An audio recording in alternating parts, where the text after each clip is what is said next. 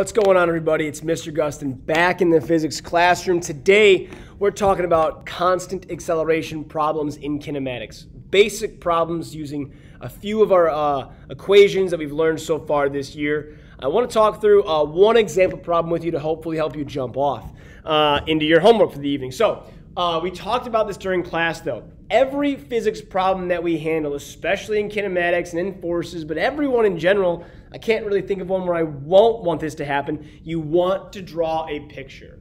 You want to draw a picture, you want to label it with all the variables that you're given, things that you know, secret unknowns if things start from rest or if things are dropped, labeling gravity, these kind of things. Always label your picture. It will make selecting your equation that much easier. So, I'm looking at problem number one on our constant accelerations problems. And here's what I have. I have a bobsled going down an incline. It starts from rest. So I've labeled the initial is zero meters per second. And I know the acceleration is four meters per second squared. That's all I know in the prompt of the problem.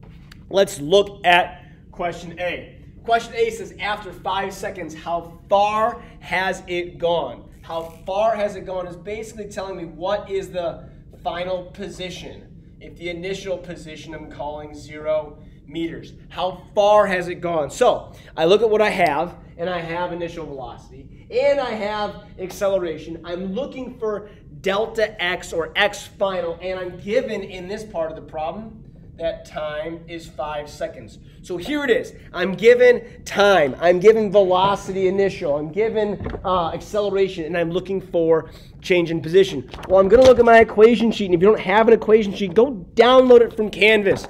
Uh, but if I do look at it, there's two equations I can use here, and only one of them, the second one, my quadratic equation right up there, is going to give me position information. So I have to use that one. So next step is to write that equation down. X final equals initial position plus initial velocity times time. One half AT squared. It's my quadratic equation. I start plugging some things in. Initial velocity is zero. Initial position is zero. X final is equal to one half AT squared. This is my final equation. I can start plugging some numbers into final position is equal to 1 half times that acceleration, which is 4 meters per second squared, times 5 seconds squared. I get my calculator out, and I'm looking at uh, 220, 50. X final is 50 meters. There's my first answer, 50 meters. I can use my calculator or do it in my head. Either one, check your math.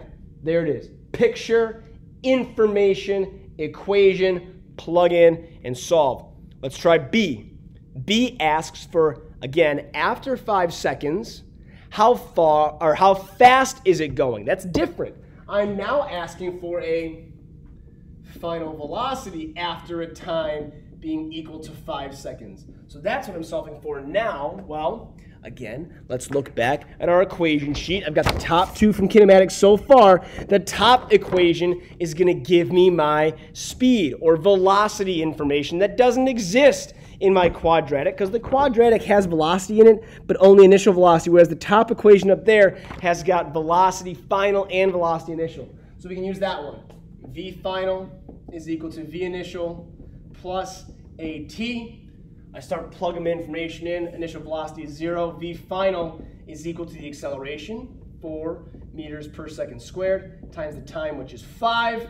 My final velocity is 20 meters per second. There we go. Again, that detailed picture really helps me when it comes to selecting an equation.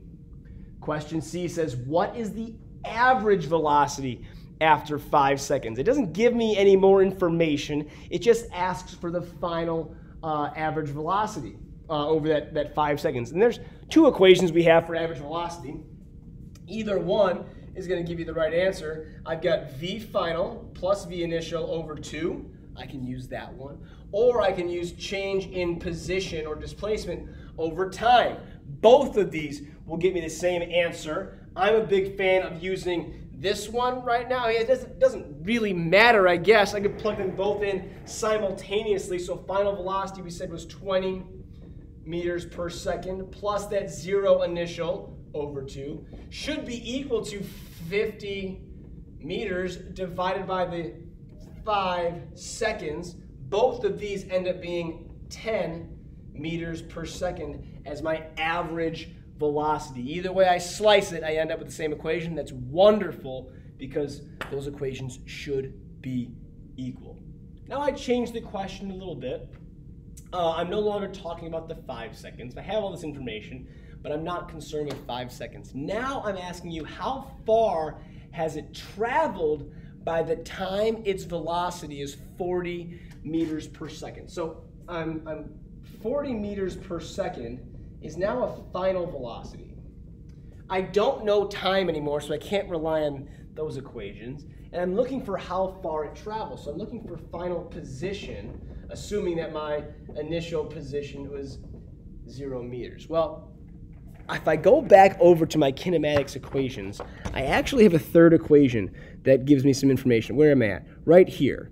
V squared final equals V initial squared plus 2A times delta x, or change in position, or x final minus x initial. It doesn't include time. And since part D doesn't give me any information about time, I have to use that equation for the first time ever in class. So let's see what that looks like. V final squared equals V initial squared plus 2A. I call it delta x, but you can of course call it x final minus x initial. So I plug these things in now. Uh, initial velocity is zero. Final velocity is 40 meters per second. I'm gonna have to square that. That's equal to 2 times the acceleration, which is still 4 meters per second squared. That has not changed. And lastly, I'm trying to find my change in x or my final position. I'm going to have to do uh, some calculator work here. I'm not great with squares, so we'll do 40 squared. And we'll divide that by 2 times 4, or 8. And we'll end up with a position, a 200 meters is equal to delta x, which is equal to x final minus x initial. So x final ends up being 200 meters.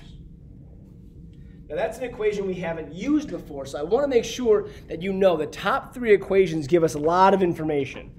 The first equation, as we break this down, the first equation is going to be useful when I know final and initial velocity and time. So when I have velocities and time, this is the equation I'm going to want to use. My quadratic is super helpful when I want to use uh, position and time. If I have position and time data along with acceleration, this equation is super, super helpful.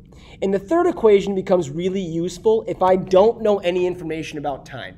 If I don't know how long something travels for or how long it's moving for, no time information really, really, really means let's go ahead and use this v squared equation. Now we haven't seen it yet, but if you're mastering plugging into these equations over here, it should be no problem to plug into a new equation with similar variables.